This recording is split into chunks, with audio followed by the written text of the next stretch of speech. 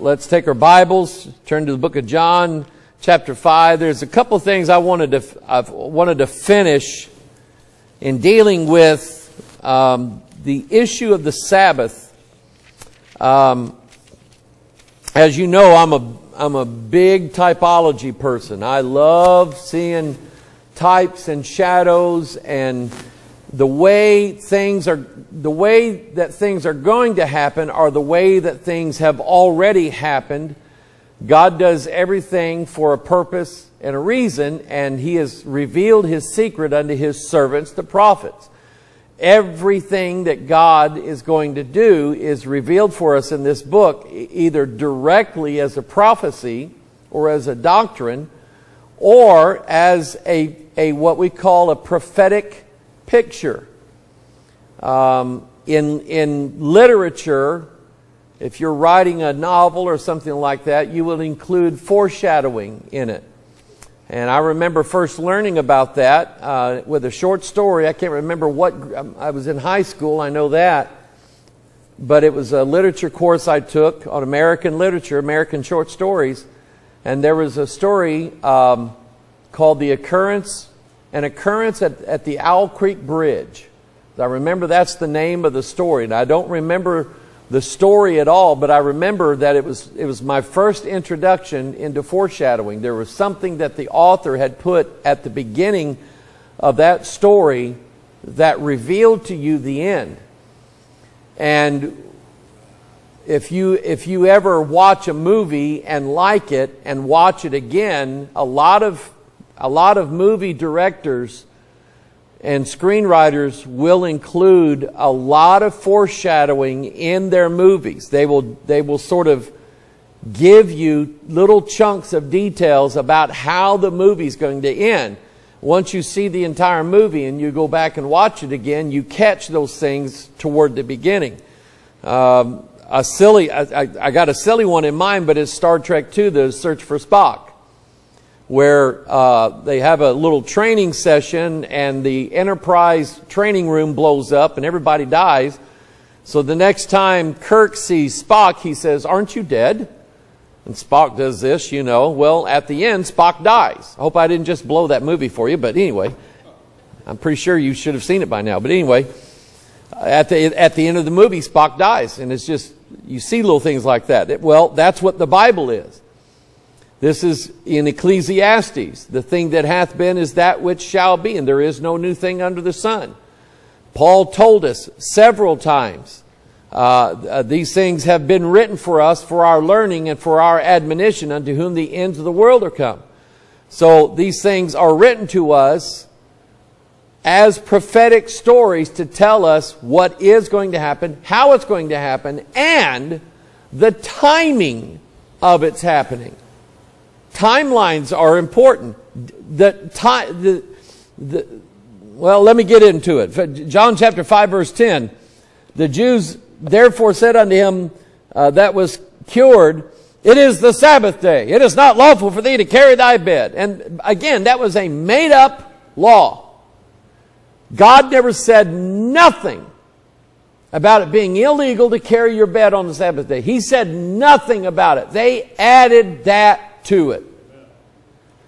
And so he, um, he answered them, and he, he that made me whole, the same said unto me, Take up thy bed and walk. Then asked they him, What man is he that which said unto thee, Take up thy bed and walk? And he, he, he that was healed wist not who it was, for Jesus had conveyed himself away, a multitude being in that place. Afterward, Jesus findeth him in the temple, and said unto him, Behold, thou art made whole. Sin no more, lest a worse thing come unto thee.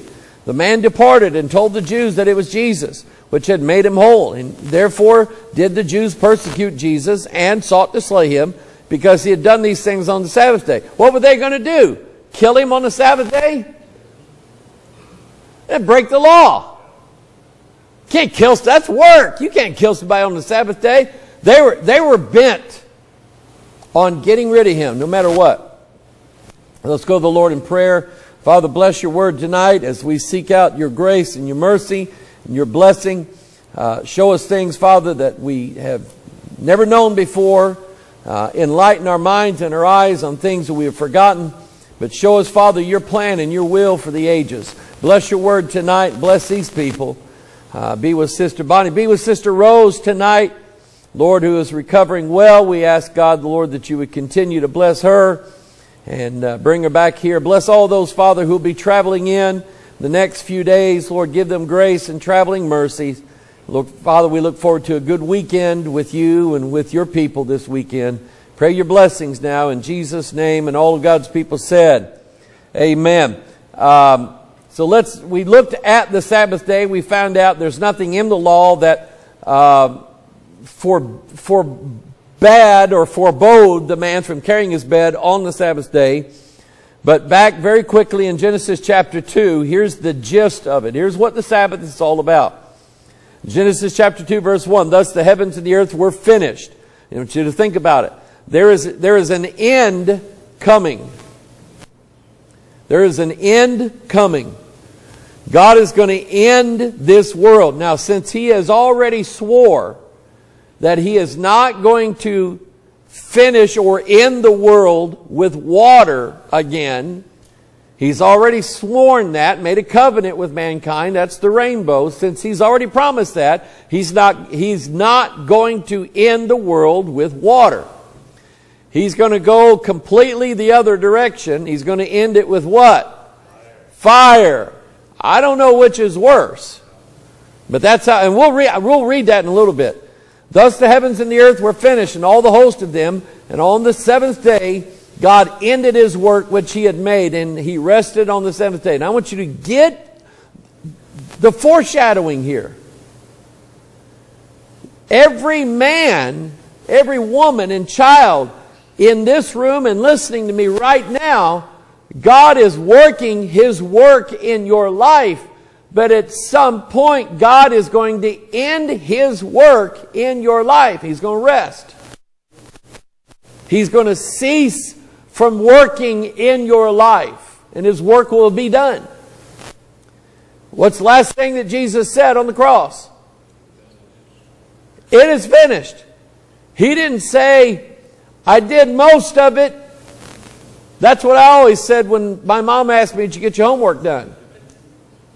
I did most of it. You know, that never counted. And it's the same thing when a Catholic priest tells you that Christ died for most of your sins, but you must pay for the rest of them, that is, that is a wicked doctrine. And it's not biblical. It's, it was made up by men. One of these days, God ends the work. He finishes it. When Jesus said, it is finished, He meant it is finished. There is nothing left to do for our salvation. You're either going to believe that you're, you have a religion of do or a religion called done. Our religion is called done. It's done. It's finished. Amen. And he rested on the seventh day from all his work which he had made. And God blessed then. When that, when that rest comes, that's the blessing. And he sanctified it. When the work is done, God gives us complete and total sanctification. Because that in it, He had rested from all His work which God created and made. Now, uh, let's see here. I think I did this. I'm not sure. Turn to Mark chapter 2. We'll look at it very quickly and then we're going to go to Hebrews 4. Mark chapter 2 and Hebrews 4 very quickly. I don't remember because we were in um, Harrison last Wednesday night, or last, yeah, last Wednesday night. Had, uh, had some good meetings there. Uh, I was nervous, shaking like a leaf. Figured they'd throw me out, and never have me back. And boy, was I surprised. Uh, Mark chapter 2, verse 23. It came to pass when he went through the cornfields. And understand a little bit about corn in the days of Christ. The corn that Christ and the people had in the land of, of Palestine, Canaan land, the Middle East, was not like the corn that's in Kansas now or wherever, Nebraska or wherever. That corn that we grow here in America is a South American product. They say the, the way to produce it was given to them by Viracocha. I don't know about that. I just know that corn, especially corn that was grown here at this time, was not these big shucks of corn or the big uh, ears of corn that we have. They were smaller. The word corn simply means kernel. Any type of, whether it could be wheat corns or barley corns, barley kernels, or whatever. But they had the ability to, to just take them in their hand and rub, rub it like this, and it would get all the chaff and everything off, and they would literally just eat it raw on the, on the fly, just picking and eating as they went. Okay? And that, was that was, that was providing them carbohydrates, which turned very easily into sugar. Uh, it carries for a while. It's good bread. But they were doing that on the Sabbath day, and his disciples uh, and his disciples began as they went to pluck the ears of corn. And the Pharisees said unto him, Behold, why do they on the Sabbath day that which is not lawful? And he said to them, Have you never read what David did, and what he had need, and how we what how and was an hungered he and they that were with him? How he went into the house of God in the days of Abiathar the high priest, and did eat the shewbread, which is not lawful to eat, but for the priest, and gave also to them which were with him. And he said unto them, The Sabbath was made for man. There it is it is, it is man's rest. The Sabbath was made for man, not man for the Sabbath. Therefore, the Son of Man is Lord also of the Sabbath. And it'd be like Jesus saying what I just said. Jesus would say, If you can show me in the law where I'm breaking the law, I will gladly. But if Jesus was breaking the law, he couldn't have been Christ. Sin is a transgression of the law. And at no time can we ever ascribe a transgression of any of the laws to Christ. Christ knew what he was doing. He knew that the Pharisees had added all these rules to the Sabbath keeping and all this stuff. He knew that what he was doing was lawful. What was he doing? Eating. He was eating on the Sabbath day, is what he was doing. So anyway, therefore the Son of Man is Lord also of the Sabbath. Now turn to Hebrews 4. And I, I may have already covered this, but I just want to touch on it again and get you to understand that there is a rest coming. In fact, if you turn to Hebrews 4, hold your place there and go, um, go to 2 Peter. Let's get some understanding in, in us here. Let's have here a little and there a little. In 2 Peter, um, chapter 2. Uh, by the way, I, I have, I, I, was just teasing a while ago, I've, I've, I've had an idea. Actually, it was an idea for a book to put together called The Supernatural Bible. And we live in a country right now. One, one of the things that I tried to convey last Wednesday night to the folks down at Harrison, Arkansas, and they received it well, they really did, was this is a different world that we live in now. Back 50 years ago, if you saw a flying saucer or UFO, you could not tell a soul. You could not tell anybody for fear of being an outcast, for fear of being made fun of, things like that. It, even our own military, there were rules and there are unwritten rules in the military. If you were a, if you were a, a uh, if you were a Navy pilot and you engaged a UFO, you didn't fill out a report. You didn't say a word to nobody about it because you would have got teased and may have even got in trouble and in some cases may have ended up missing. But it's a different world now. And I think America needs to wake up, especially American churches need to wake up to the fact that there is a supernatural realm around us. And I can, I can tell you about it by first hand experience. If you've ever been where you know devils are speaking directly into your soul, telling you to leave, get out, run away, don't you ever come back here, you're in danger. If you've ever been in that situation, you know what I'm talking about. And I want to tell you what, it, it just about drove me to the brink of lunacy. I'm not kidding you. But I've experienced it firsthand. There's some things I've gone through, some things I haven't that others have. But this is a supernatural world around us that we cannot see.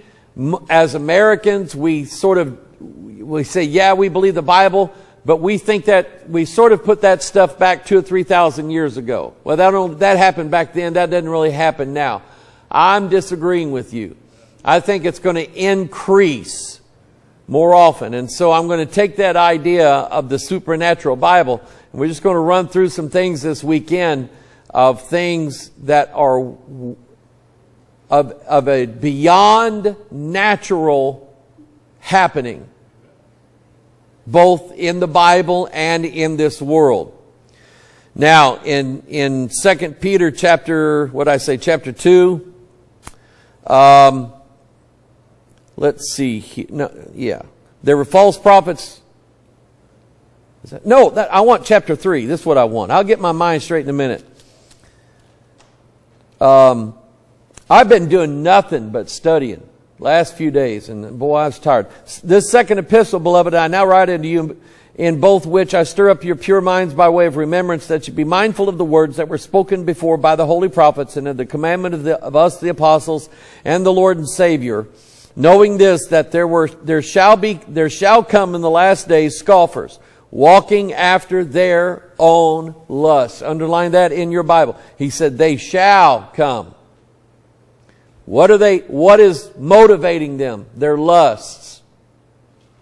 Okay? In verse 4 saying where is the promise of his coming? For since the fathers fell asleep all things continue as they were from the beginning of the creation for now, watch this, verse five. For this they willingly are ignorant of. It's one thing to be ignorant of something, and for you to read something for the first time in your Bible and say, "Boy, I never knew that was there." That, that's one thing. God, God can wink at that ignorance. But to refuse knowledge, to deliberately read something in the Bible and deliberately refuse that knowledge that's where it's dangerous.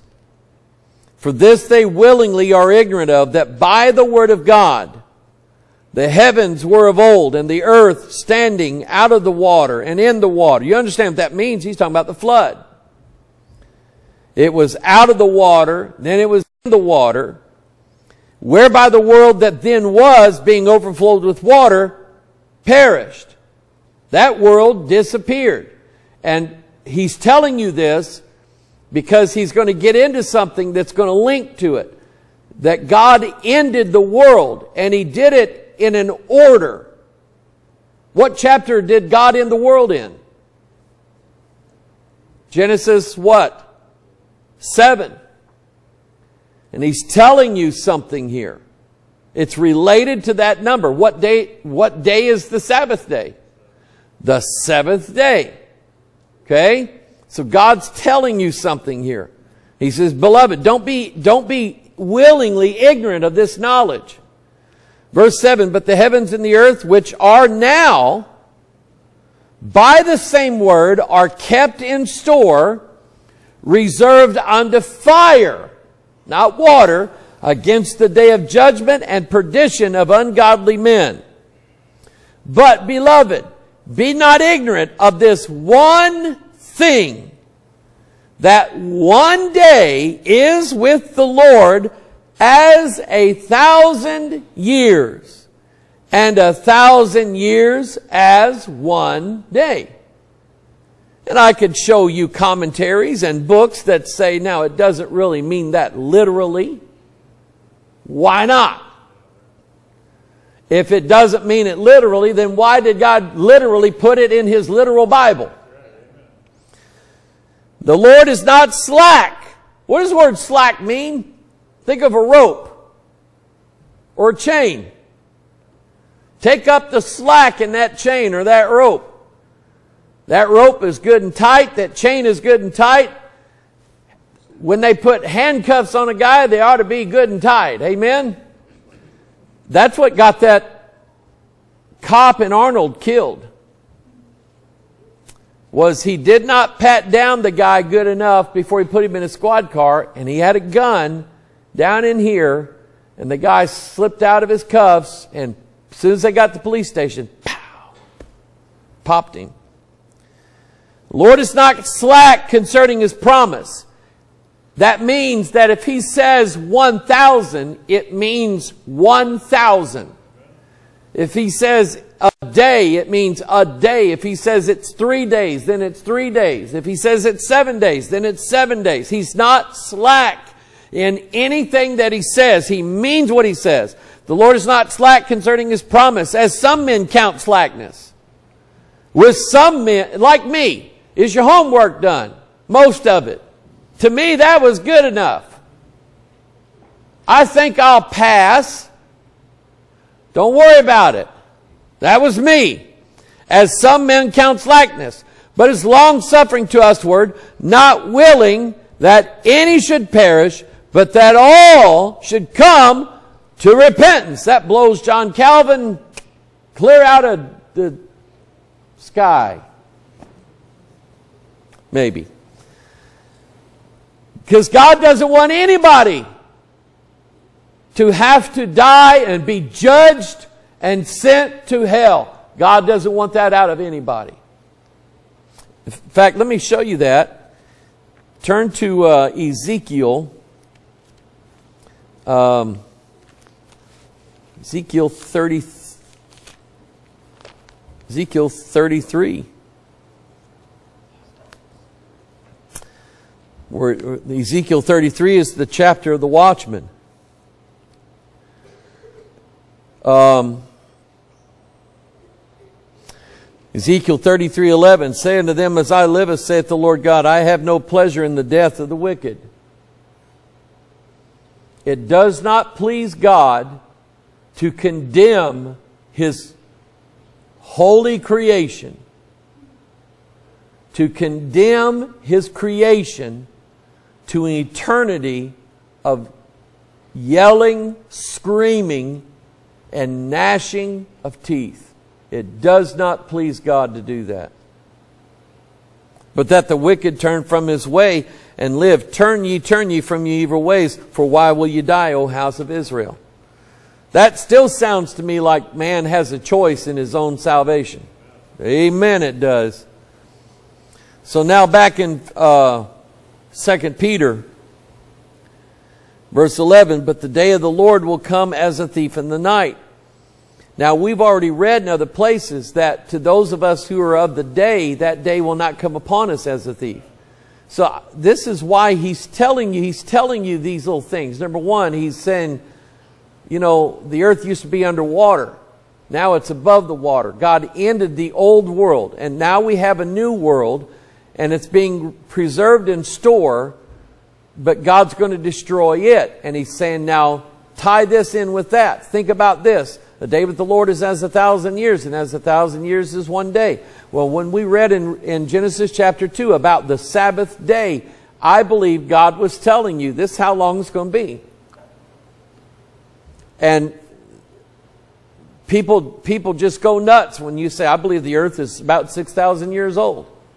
They cannot handle that because they have had evolution forced down into them so deep and so hard with absolutely no evidence whatsoever.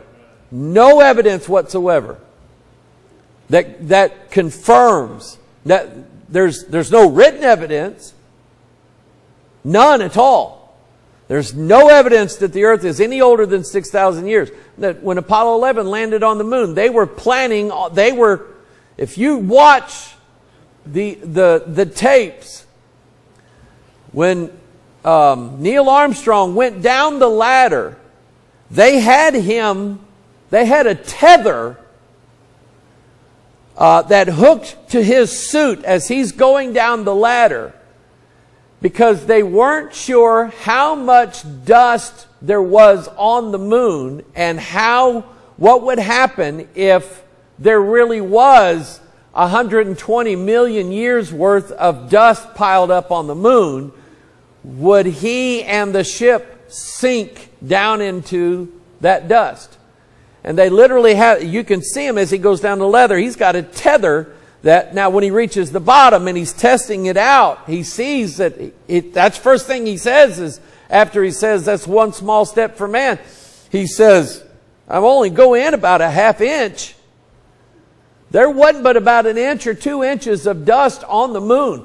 And all of the scientists, all of them had said, there's, we expect at least a foot of dust on the moon. That's, uh, that's a millions of years of dust collection on the moon. We're not sure if, the, if they thought that the lunar lander would sink into the dust. And they had a contingency that if they landed and it started sinking, hit a button and take off. Okay? But the dust was only about that deep. And they're going, well, we got that one wrong. They always do. So he's saying, verse 10, the day of the Lord will so come as a thief in the night, in which the heavens shall pass away with a great noise, and the elements shall melt with fervent heat, the earth also, and the works that are therein shall be burned up. Verse 11, seeing that all these things shall be dissolved, what manner of persons ought ye to be in all holy conversation and godliness, looking for and hasting unto the coming of the day of God, wherein the heavens being on fire shall be dissolved, and the elements shall melt with fervent heat. The day of God is that seventh day. And when that day is ended, God is going to dissolve everything, all the heavens, everything, earth, everything you've done, everything that everybody here on this earth has done, and everything, all of our bodies are going to dissolve. Boom, gone. So he's telling you, like what Christ said, labor not for those things on earth, where moth and rust doth corrupt, but labor for those things which are in heaven.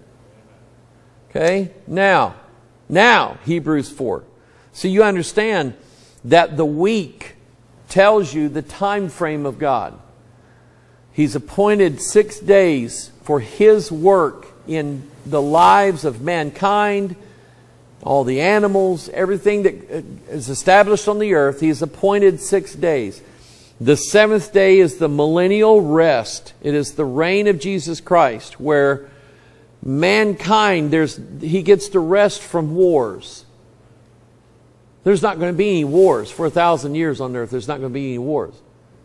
Just like in the last presidency, we had no wars. Think about this for a minute. Okay? Um, Hebrews chapter 4. But anyway, that thousand years is a rest for mankind. A rest for politics, a rest for um, wicked banks. Okay? A, a, arrest for just for man, mankind in general. He gets to rest for a thousand years, where Christ and his saints are going to reign. So in Hebrews chapter 4, verse 1, he said, Let us therefore fear lest a promise being left us of entering into his rest, any of you should seem to come short of it. When you fear, it's a godly fear. It is the fear of the Lord, one of the seven spirits of God. And he said, don't do with that promise what the Jews did with it. So, verse 2 For unto us was the gospel preached as well as unto them. That blows away your dispensationalism. But the word preached did not profit them, not being mixed with faith in them that heard it. They had the gospel, they just didn't believe it. So he said in verse 3 For we which have believed do enter into rest, as he said, As I have sworn in my wrath, that they shall enter into my rest, although the works were finished from the foundation of the world. Now, what he's talking about here in verse 3 is the day when they sent the 12 spies in. Had the 12 spies come back and said, There's giants everywhere, the cities are walled up, but God said that He would give them over into our hand. We believe that we should go do what God said and take that land. God would have given them that land right then and right there. And they would have entered into His rest. But they didn't. Ten of the spies, that represents the law, says you cannot go. You cannot, we cannot do this. And they were willing to go back to Egypt for it. Verse 3.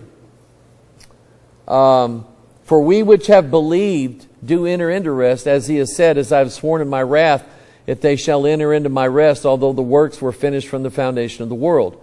For he spake, verse 4, for he spake in a certain place of the seventh day. There it is, seventh day. And take, write that, write that phrase down, seventh day. You study that. It's 52 times in the Bible. So is the phrase third day because they're the same day. You measure from Adam to the millennial kingdom, that's seven days. When you measure from Christ's first coming to the millennial kingdom, that's three days. So the seventh day from Adam, but the third day from Christ. 52 times in 48 verses, both of them, exactly. Okay? I shared that with my friend uh, from Bible college, and he went, huh. That was interesting to him. So he says, uh, verse 4 For he spake in a certain place of the seventh day on this wise, and God did rest. Uh, God did rest the seventh day from all his works. And in this place again, if they shall enter into my rest. Seeing therefore it remaineth that some must enter therein, and they to whom it was first preached entered not in because of unbelief. Again, he limited a certain day. Remember, all of this is a prophecy. It's typology. It's telling you what's happening in the future. He limiteth a certain day, saying in David, Today, after so long a time as it is said, Today, if you will hear his voice, harden not your hearts. Remember what the, remember what God said in Genesis 6. My spirit shall not always strive with man.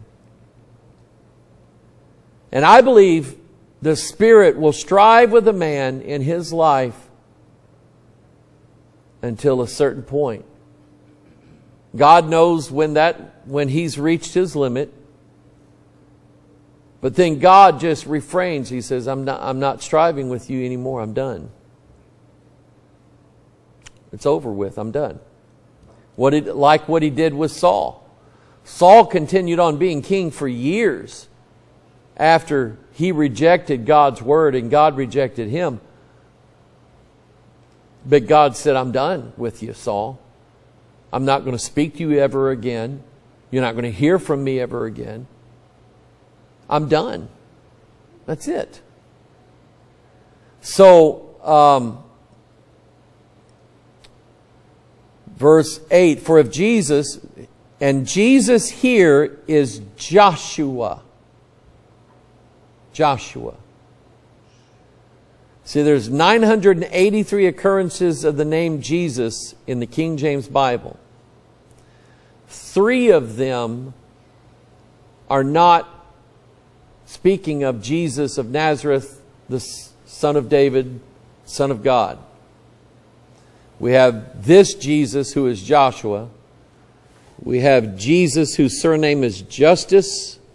And then we have another Jesus. So that leaves us 980, which is 70 times 7 times 2. I love that. I love it. So this is Joshua here. For if Jesus had given them rest, and you can tell by the context, For if Jesus had given them rest, then would he not afterward have spoken of another day? And Joshua was the one who had pled with Israelites saying, please, let's, let's do this thing. Those, those giants, they're breakfast for us. God's going to, we can, we're going to eat them like bread. Let's go into that land. They rent their clothes. And they were going to kill Joshua and Caleb over it. Joshua led all the wars into the promised land, but did he eliminate all the enemies? No. He refused. And he let some of them live, going against what God said. For if Jesus had given them rest, then he would not have afterward have spoken of another day. There remaineth therefore a rest to the people of God. For he that is entered into his rest, he also has ceased from his own works, as God did from his. So there's a rest coming, not only for each saint that dies in Christ, their day of labor is over with. But there is a rest coming to the earth. They're going to beat their swords into plowshares. And uh, they're going to beat their politicians into pulp, I guess. um, but that day is coming.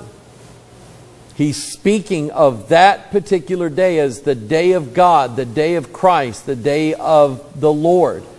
And it, yes, it lasts 24 hours, but it also lasts a thousand years. Okay? Now, uh, back in John chapter 5. What time is it? It's already after. It's where we're going next week. Give you a homework assignment. Give me two witnesses or three, three verses in the Bible that proves beyond any doubt that Jesus Christ is God. John 5:17 But Jesus answered them My Father worketh hitherto and I work Therefore the Jews sought the more to kill him. Now, see, he's already made them very upset because he's healed on the Sabbath day. He's rubbing corn in his hands on the Sabbath day and eating. He's doing all this on the Sabbath day. Then he says, My Father worketh hitherto, and I work. Therefore the Jews sought the more to kill. Now they really want to kill him. Why? Because he not only had broken the Sabbath, and I had somebody call me and said, uh, Jesus sinned. I said, No, he didn't. And he read this verse. I said, Listen here. That's what they accused him of. But you have to take this in the context of what we know from the rest of the scriptures. It is not possible for Jesus to have sinned.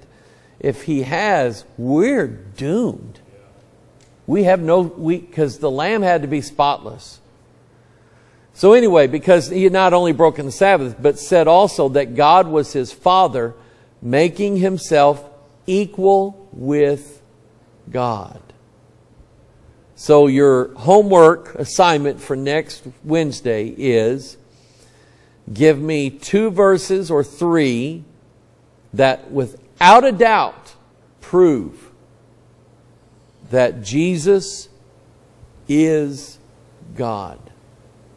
And whatever you come up with, write them in your Bible. The one that you'll have when you meet the Mormon missionaries or the Jehovah's Witness missionaries at your door. Anyway, any place where you're going to need those verses when they come knocking on your door. And you just whip that out and say, let me read some verses to you. Okay? And I'll never forget that. Reg Kelly went through that with these two guys on their bicycles. He kept trying to, he said, Boys, I'll talk to you if you'll answer one question Is Jesus God Almighty? And the lead guy kept dodging, he kept dodging, kept dodging the question. Finally, Reg said, I'm only going to ask you one more time. Is Jesus God Almighty? And finally, that guy said, No, he's not! Boy, I mean, he was he was red in the face over that. And uh, Reg said, "Okay, now I'll talk. To Thank you for your honesty. I'll talk to you now." But uh, this is important. This is important. Uh, I, I can't remember if somebody sent it to me or it just showed up. It was a YouTube video, and I thought, well, I'll look at it. It was some other preacher, and I I listened to five minutes of his sermon, and I liked him.